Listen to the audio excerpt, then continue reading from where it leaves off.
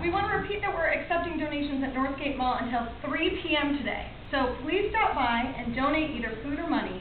If you heard her, if you get there for the first hour, you get some free gifts, so make sure you show up. Now, the moment we've been waiting for, we need to announce the winners of Dancing in the Morning.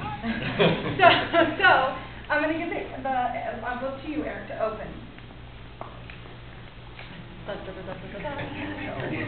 I, I think Rickie's gonna read our winner, and I'm very curious.